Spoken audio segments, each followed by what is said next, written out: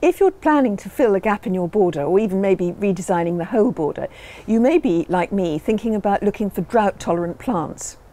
Here in Kent, in southeast England, we had the hottest, driest summer practically on record. And many of our gardens were really fried and we've got gaps. It's Alexandra here from the Middle Sized Garden YouTube channel and blog, and I've come to Jane Beedle's garden because it didn't fry and it didn't get gaps. But of course, even if we are predicted to have hotter, drier summers in the future, we may well get odd wet summers. So we don't want to get lots of drought tolerant plants that then sit there and look miserable if we have a sudden wet summer. For example, last summer we had twice the normal rainfall. And Jane's garden looked fantastic during that summer too.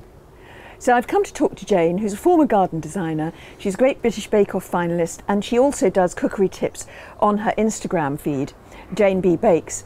Uh, but above all, to find out what exactly she's planted in her garden that can look so good in this hot, dry weather, and yet survive also a summer that maybe has double the amount of rainfall.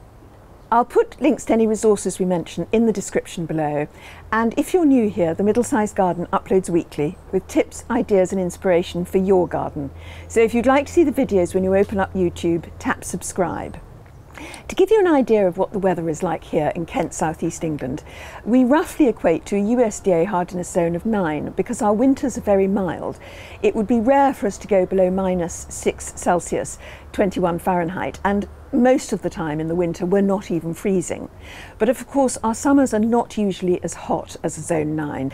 This summer we went up to 40 Celsius, 104 Fahrenheit, and it has been consistently very dry. We had a whole month with virtually no rain at all. So, just to start with the planting debate that's going on in the gardening world at the moment, is that what we all know is that in their first couple of years, trees and shrubs and perennials are not as drought tolerant as they are once they've really got their roots down and settled into the soil. So, there is some debate about how long you should water plants for after they've planted, because the don't water them brigade say soak the roots thoroughly before you plant them, soak the planting hole with full of water, let it drain away, and then give the plant a really good soaking once it's planted. But then after that, no more water because it'll come to rely on it. Whereas the other side say you do need to water trees, shrubs, and perennials in their first year to give them a chance to get their roots down. So, what's your view on that? Well, I would say if you don't want to chuck your money straight down the toilet, then you need to water them. Um, and if you go for a larger shrub, so say something in a 10 litre pot or a tree that you buy by girth size, so generally that's a much larger root ball, if you don't water them, they're just going to die. I, I, don't care how much you water that hole and water that root ball before you plant it, they will die.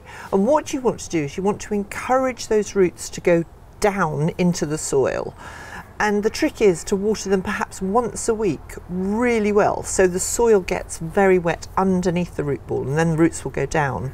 The fatal thing for new planting is to just water on the surface a little bit, you know, stand there and water for five minutes. If you dig down, you'll find that the top, perhaps, oh, quarter of an inch, half an inch tops, is actually wet, in which case the roots want to come up to the surface to get the water. And of course, if the roots are on the surface, they're going to be more prone to drying out. So a good soaking once a week until that tree's or large shrub is established. Obviously, as a garden designer, I think you'd advise people to put their trees in first and then design the rest of the garden around that, wouldn't you? So, what would you say are the best good drought resistant trees here in this garden?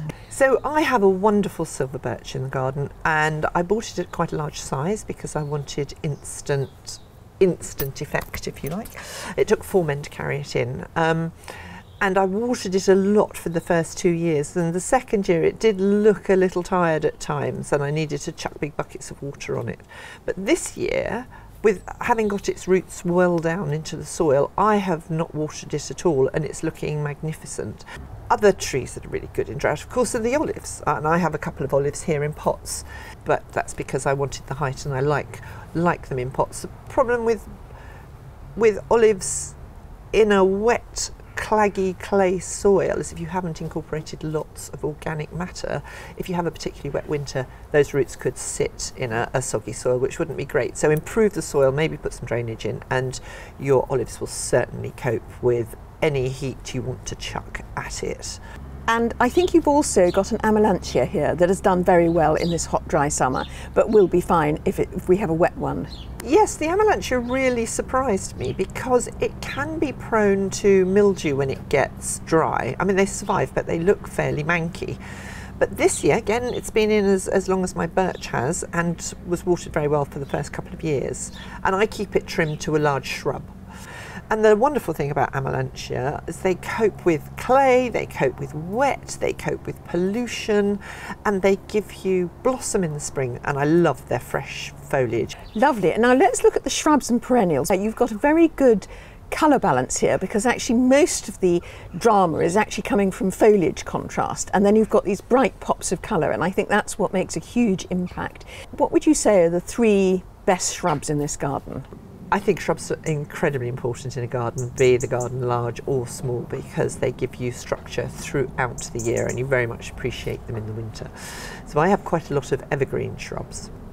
Um, I love Pittosporum. Pittosporum are marvellous and they come in all sorts of shapes and sizes really. So I'll use Pittosporum golf ball instead of box balls because they're much more sort of disease and bug resistant. Um, another one I love is Nandina which gives you berries in the winter. It can give you different colour foliage. There's lemon and lime, which I have, which is a bright yellowy green, you know, um, foliage. I have now I never know whether it's obsessed or obsession, but I have Nandina obsession that has red leaves in the spring and goes through looking gorgeous all year. And then panicles of white flowers and red berries that will persist through to spring. So that's marvellous. So any of the Nandinas are incredibly drought tolerant. I also see you've got sage. Now I think most of us don't even think of sage as a, as a shrub, but I gather the RHS as it is a shrub. And of course it gives you a lovely sort of grey-green colour throughout the year. And that's of course fantastic in drought, and it doesn't worry at all about um, the odd wet summer either, does it? No, in fact, my sage has been incredible. I, I, don't use a huge amount of it in cooking, but I love this silvery mound. I do keep it very well pruned back so it doesn't get too leggy. Um, but it keeps this lovely sort of rounded shape and beautiful leaves that haven't suffered at all. And of course, you can get the purple leaf sage, which looks so pretty in a border. You almost think it's an ornamental and not a culinary plant. So, yes, sage is fantastic. I love it. And speaking of sage, of course, there are two members of the sage family which are doing some wonderful flowers for you as well, aren't they? Which is the Perovskia blue spire, which is now apparently called Salvia blue spire, and indeed the salvias, and you've got Salvia greggii, I think. So just talk me through the flower colour that's done so well in this hot summer, but also did well last year in the wet. Greggii I, absolutely love. Uh, it gives you that pop of red and for all those people who like the pastels and the pinks and the this and the that, you need a little bit of pop as contrast. And the Greggii catches me out every year because I prune it back um, in sort of late late spring. Don't put don't prune them back too early because otherwise they could get damaged by the, the frost. But I prune it back in late spring and, and it goes back into this tiny sort of little space and then I frantically plant around it, forgetting completely that it grows into this massive bush. Mm, you would think I would learn, wouldn't you? But it just keeps flowering from the moment it gets going, which is June, end of May, June, it gets going and it flowers and flowers and flowers and flowers right the way through until the autumn and first frosts, really. So it's a fantastic doer, the Greggii. And there are plenty of salvias in that same part of the family that will give you the most glorious pops of colour if you would prefer an orangey one or a purpley one. And of course, the bees love it. And in the dry conditions, we're also looking for lots of things that will keep our insects happy. Yes, that is an important point because I mm. think pollinators had a really tough time mm. this last summer. Other plants I can see here, Verbena bonariensis. In my garden, Verbena bonariensis has been absolutely fine in rain, sun, drought. It's been completely untroubled by this last summer we've just had. And I've also noticed you've got a climber here, star jasmine or Trachelospermum jasminoides, and that's been a good one for you in the drought, hasn't it? Oh, yes, as climbers go, I, it's fantastic. Um, it seems to have survived. Again, I haven't watered it this year at all. In fact, watered it very little since it's been in. It can be slow to get going, but now it's roaring up the fences. And of course, it has jasmine like flowers, which again is great for pollinators, lovely for us. And it's evergreen, so it's there as a good structural plant all through the winter. And actually, I have it on the sunny side of my garden, which gets full sun virtually all day. And I've also got it on the shady side of my garden, which you wouldn't think it would thrive in at all. And it, it seems to be scampering up the, the wall and the fence is perfectly right. So I would always say go for one of those instead of maybe a clematis. I know I love clematis. But the clematis, they're all looking a bit mm, sad now, where I was expecting some of them to still be flowering. But the, the jasmine is still throwing out the odd flower, even though it's late in the season. So, yeah, a great climber, I think. And then, of course, there's wonderful drought resistant plants for pots. Now, of course, pots you will always have to water because uh, they only get their water from you, really. Rain mm. doesn't get into pots. Um, but on the other hand, having drought resistant plants in there is quite a help because if you've got really hot, dry temperatures, the plant pots will dry out even faster. And I think you've got a complete classic here, which is pelargonium. And you've also got a bulb I haven't seen anywhere, which is what Tulbaghia violacea? Tulbaghia violacea, I believe. So please don't don't quote me on that. But it's a marvellous little plant. I think it's in the garlic family. And it's just flowers and flowers and flowers and flowers. A little bit later in the summer, probably end of June, beginning of July. But unlike most agapanthus, and it has almost, it almost looks like a mini agapanthus. Unlike that, it just carries on throwing out new flower spikes.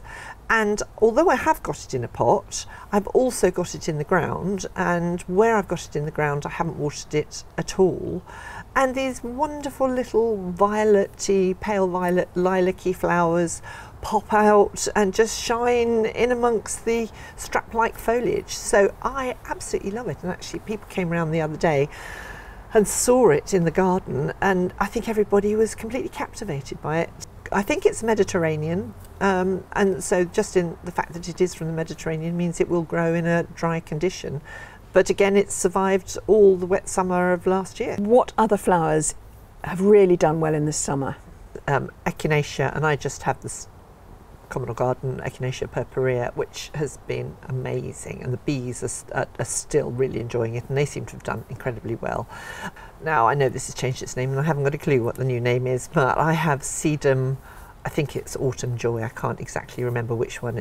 And the sedums, of course, will survive almost anything, and they do very well in drought conditions as well. So they are two really good doers. Phlox, you need to water like mad because it'll go mildewy. So if you're looking for a drought tolerant, don't look at phlox. Another wonderful little plant that seems to grow incredibly well around here is Erigeron karvinskianus, which just will settle in any crevice uh, and, and just grow away. I first saw it at um, Great Dixter, I think, many moons ago. And of course, what would a border be without some good grasses? And I think the one here that you've got is Anaman, oh dear, we're going to have to struggle with this, aren't we? Anemanthele lessoniana, and it's all known as pheasant tail grass. But that's done really well in both your hot, dry summer and last year's wet summer, hasn't it? Yes, it's a brilliant one. It used to be called Stipa arundinacea until they changed it to something that we couldn't pronounce. Yes, I and I'm not even going to go there. Probably, I think they just try and trip us up, don't they, with these wonderful words?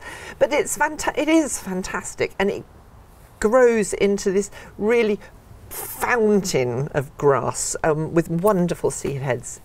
It does self-seed a little bit, but not, not too badly. But because my garden is small, I like to sort of knock it back into shape. Now, most of the advice is you, you just rake out the dead grass and uh, dead bits and, and leave the, the shape there. But frankly, don't tell the experts, but I cut mine down every year and it comes back into a very manageable shape. But I have it on the shady side of my garden and I have it on the sunny side of my garden. It copes in drought and it copes in, in wet conditions. So again, lovely. And you have this slightly um, reddy pinky tinge to it as it gets older, which also just gives you a little bit more glowing interest in the garden. I have to admit that all my dahlias except one completely fried, and the dahlia that I've got that did very well is the same one that's just behind you now, which is Dahlia Stephen Ryan. And of course, one would love to recommend this to people as a you know really good drought-resistant dahlia, but unfortunately, it's only available at Stephen Ryan's own nursery, which is called Dicksonia Rare Plants and is in Mount Macedon just outside Melbourne, Australia, which may not be convenient for many people trying to get this dahlia, but that is that's done really well, hasn't it? It's done pretty well, and I have to say I didn't get mine from Melbourne, Australia. I got it from you, which for which I'm incredibly grateful. Um, it, it has done very well. Just keeps on flowering really, and when it was particularly dry, um, the, the flowers seem to be much smaller. But uh, we've had a couple of downpours over the last couple of weeks and it perked up no end, and you can see that it's flowering away like mad. The problem with dahlias is they they do need an awful lot of care and water, I think. But I think we were talking about this the other day. I have this theory so they tell you to mulch your garden either with gravel or, or a good mulch of, of organic matter, which was, will always improve your soil anyway, to stop the soil underneath drying out. Well, my garden, as you can probably see, is completely packed with plants. You can barely see a little bit of soil. And I think that's why the dahlias have survived because the leaf coverage from all my evergreens and other things stops the wind and the sun going directly onto the soil, and maybe that has acted as you know a green mulch, if you like, and stopped them drying out quite as much as they might. If you've got a plant soil, a plant soil, then the sun is going to get at that soil and dry it out even faster. So I would always say if you don't want to weed and you don't want to water too much, pack your garden with as many plants as you can. Let me know if you've got any good recommendations for drought tolerant plants that won't mind some rain. And thank you for watching. Goodbye.